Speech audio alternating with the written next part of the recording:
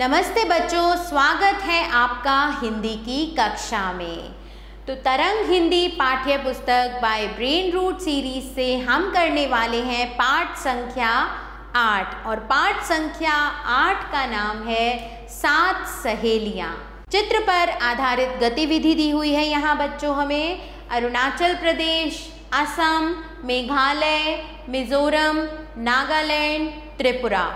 उपयुक्त नृत्य इनके नीचे दिए गए राज्यों के प्रसिद्ध नृत्य हैं। क्या आप बता सकते हैं कि उत्तर पूर्व के इन राज्यों के नृत्यों को किस किस नाम से जाना जाता है? यदि नहीं तो इसके बारे में अपने सहपाठियों से बात करो और इंटरनेट से जानकारी प्राप्त करो। उत्तर पूर्व के सात राज्यों को सेवन सिस्टर्स के नाम से जाना जाता है। इन्हीं के बारे में हम इस पाठ में पढ़ेंगे। तो आइए शुरू करते हैं। भारत के पूर्व में एक ही क्षेत्र में सात प्रदेश हैं। इन प्रदेशों को अंग्रेज़ी में सेवन सिस्टर्स कहा जाता है। हम इन्हें हिंदी में सात सहेलियाँ कह सकते हैं। सहेलियों में कई बातें समान होती हैं। लड़कियाँ किसी को तभी सहेली बनाती हैं जब उनमें सामान्य विशेषताएँ हों या उनकी रुचि मिलती हो, उनका रहन सहन मिलता हो, ठीक है? तो जब सामान्य विशेषताएँ होती हैं, तभी लड़कियाँ किसी को सहेली बनाती हैं। ये प्रदेश हैं अरुणाचल प्रदेश, असम, मेघालय, मणिपुर, मिज़ोरम, नागालैंड और त्रिपुरा। हम यह जानना चाहेंगे कि इन प्रदेशों में कौन सी बातें सामान्य हैं जिनके कारण इन्हें सहेलियाँ कहा जाता है। ये सारे प्रदेश पहाड़ी हैं। आप जानते हैं कि हिमालय की श्रृंखला कश्मीर से पूरब तक लगभग 1500 मील लंबी है। हिमालय के पूर्वी छोर में ये सारे प्रदेश स्थित हैं। पहाड़ों में मैदानों की तरह घर कतार में नहीं बने होते। दो पहाड़ों के बीच जो छोटी सी घाटी है उसी में आबादी बसती है। इस कारण एक घाटी से दूसरी घाटी तक पहुँचना अत्यंत कठिन काम होता है। अतः हर घाटी के लोग दूसरी घाटियों से कटे होते हैं। इस दूरी के कारण उनकी भाषा, उनकी पोशाक, उनका रहन सहन सब विशिष्ट हो जाता है। इस बात को हम अरुणाचल में विशेष रूप से देखते हैं। इस प्रदेश में मुनापा, आदि, अपातानी, नोकटे, वांचो आदि कई जनजातियाँ हैं। इन सब जनजातियों की संस्कृति बहुत विशिष्ट है।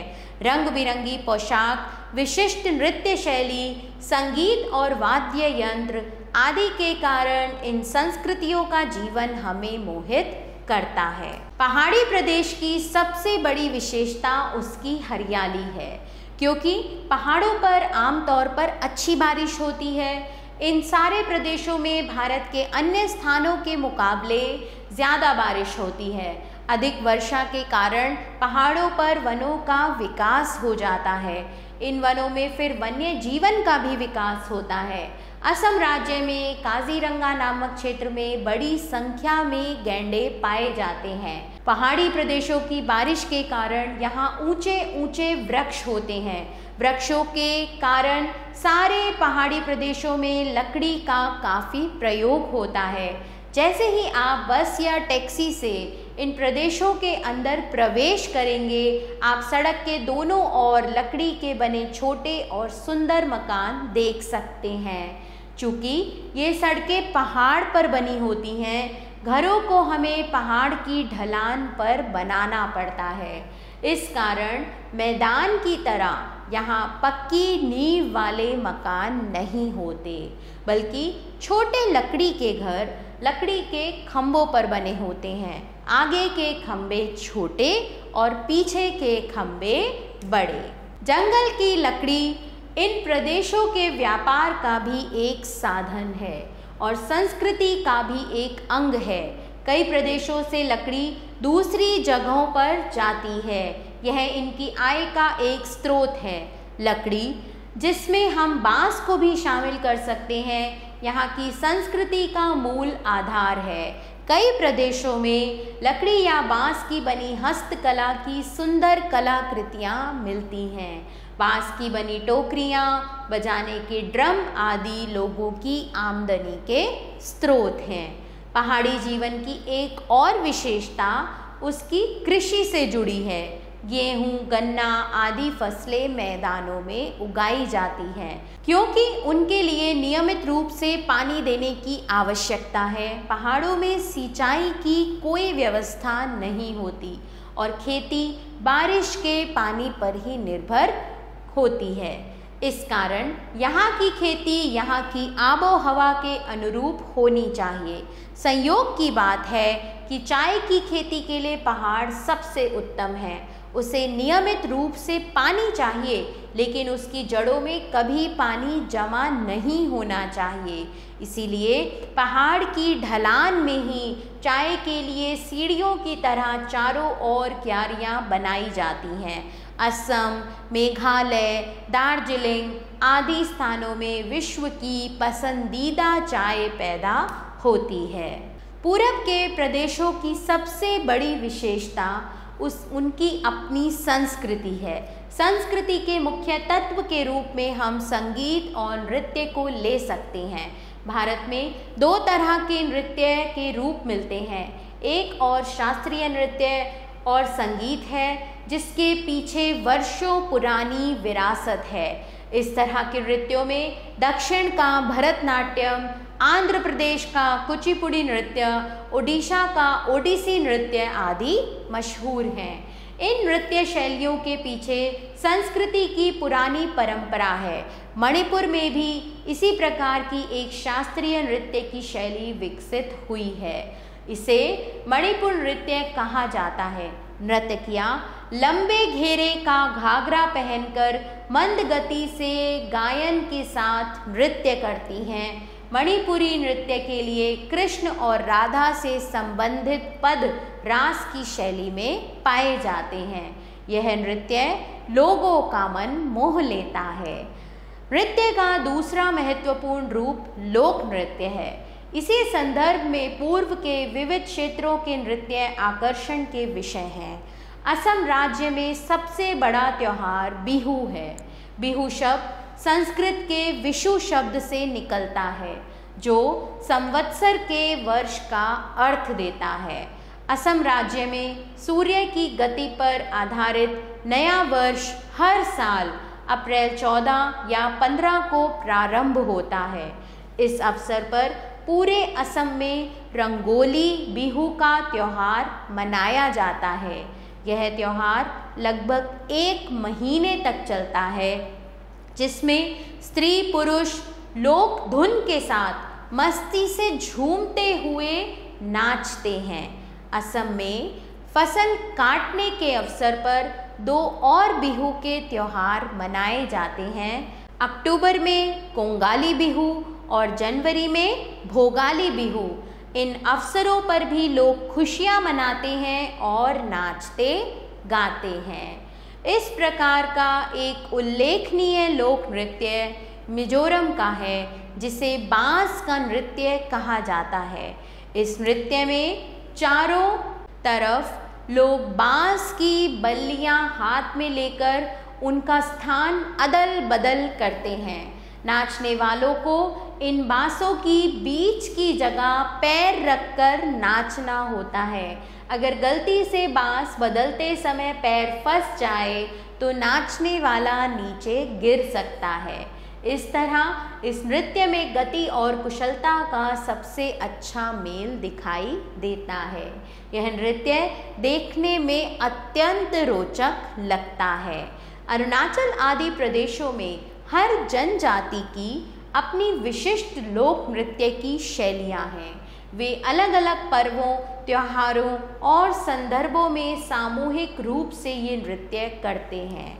पूरब के प्रदेशों के संदर्भ में हम कुछ विशेष बातें देख सकते हैं। यह प्रदेश प्राकृतिक दृष्टि से बहुत संपन्न है। कई प्रदेशों में लकड़ी और खनिज पदार्थों का अच्छा भंडार है। पहाड़ी प्रदेश होने के कारण वर्षा के पानी से बिजली पैदा करने की यहाँ बड़ी संभावनाएँ हैं। असम राज्य में तेल का अच्छा भंडार भी उपलब्ध है। इस क्षेत्र के लिए भारत सरकार ने कई योजनाएँ बनाई हैं, जिससे इन प्रदेशों का विकास हो सके। शिक्षा की कमी भी एक समस्या थी। और उच्च शिक्षा की उपलब्धि भी सीमित रही। लेकिन अब स्थिति में परिवर्तन आया है और शिक्षा में अच्छा विस्तार हुआ है। बच्चों, अब हमें दिए हुए हैं कठिन शब्द और ये आपका ग्रह कार्य होगा कि जो पाठ हमने अभी पढ़ा है, उसे आप दोबारा स्वतः पाठन करेंगे। तो चलिए, हम अब पढ़ते हैं कठिन शब्द और आप इसे अपनी पाठ्य पुस्तिका में भी लिखेंगे। क्षेत्र, विशेषताएँ, श्रृंखला, छोर, कतार, पोशाक, विशिष्ट, जनजाति, विकास, ढलान, व्यापार, संस्कृति स्त्रोत कलाकृति, निर्भर, क्यारी, विरासत नृतकी आकर्षण, उपलब्ध, योजना, परिवर्तन, सीमित। और यहाँ है शब्द अर्थ जो आप अपनी पाठ्य पुस्तिका में भी लिखेंगे और उसे याद भी करेंगे। सामान्य का अर्थ है साधारण, साधन का अर्थ है स्रोत, विशेषता, लक्षण, व्यवस्था, प्रबंध, इंतज़ाम, श्रृंखला, श्रेणी, कई। निर्भर होना, आश्रित होना, छोर, किनारा, विरासत, परंपरा, स्थित, स्थापित, मशहूर, प्रसिद्ध, घाटी, वादी, संदर्भ, हवाला, निर्देश, कठिन, जटिल, दुष्कर, आकर्षक, मनोहरी, रोचक, विशिष्ट, विशेष, कुशलता, चालाकी दक्षता। जनजातियाँ, जाति संबंधी। सामूहिक जन समुदाय व्यापक। संस्कृति, तहजीब। खनिज, ज़मीन के अंदर खान से निकलने वाले पदार्थ। मोहित, मुग्ध। विकास, उन्नति। संभावनाएँ, मुमकिन होना। प्रवेश करना, प्रविष्ट होना, अंदर पहुँचना। योजनाएँ, स्कीम, मंसूबा, ढलान, सड़क या पहाड़ का उतार वाला भाग, परिवर्तन, बदलना खम्बे स्तंभ या आधार। आगे चलते हैं।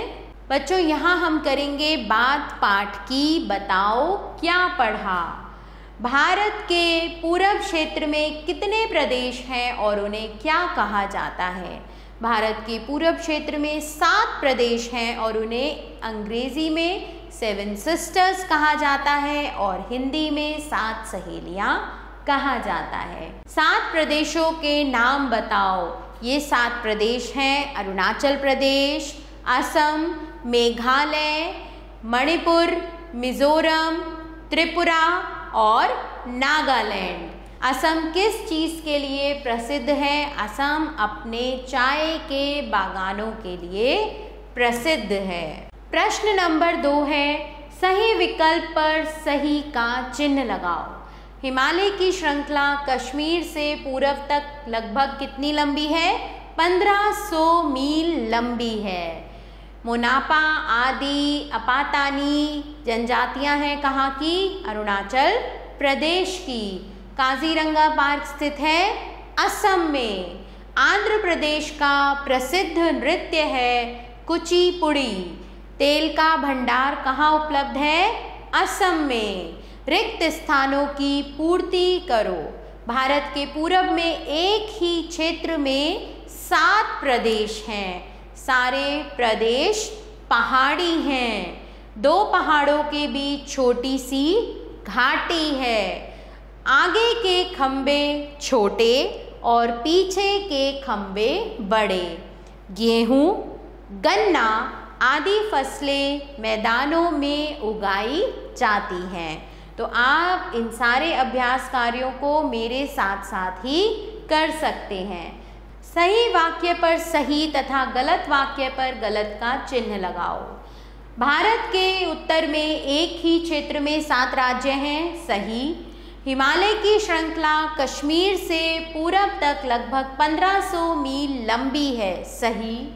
अधिक वर्षा होने के कारण पहाड़ों पर हरियाली नहीं है, गलत। अधिक वर्षा से पहाड़ों पर बहुत अधिक हरियाली है। काजीरंगा उत्तर प्रदेश में है, गलत। कुचिपुड़ी आंध्र प्रदेश का प्रमुख नृत्य है, सही। तो अगला प्रश्न है हमारा निम्नलिखित प्रश्नों के उत्तर दो। लड़कियाँ सहेली कब बनाती हैं? लड़कियाँ सहेली तब बनाती हैं जब उनमें आपस में समान विशेषताएँ हों और उनमें कुछ समान रुचि हो।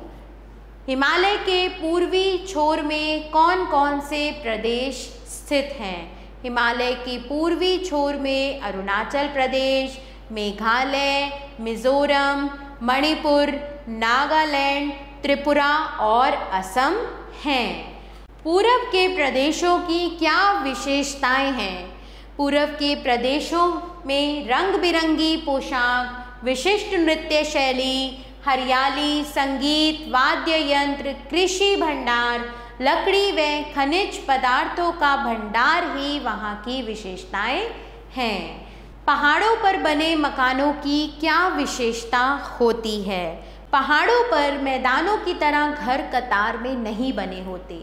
जैसे ही आप बस या टैक्सी से इन पहाड़ों पर प्रवेश करेंगे, आपको सड़क के दोनों ओर लकड़ी के छोटे छोटे घर दिखाई देंगे। क्योंकि ये सड़कें पहाड़ पर बनी होती हैं, इसीलिए घरों को भी पहाड़ की ढलान पर ही बनाना पड़ता है। मैदानों की तरह यहाँ मकान पक्की नींव के बने हुए नहीं होते। अपितु यह लकड़ी के बने हुए मकान होते हैं। इन्हें लकड़ी के खम्भों पर ही बनाया जाता है। आगे के खंभे छोटे होते हैं और पीछे के खंभे बड़े होते हैं। पहाड़ों पर चाय की पैदावार अधिक होती है क्यों?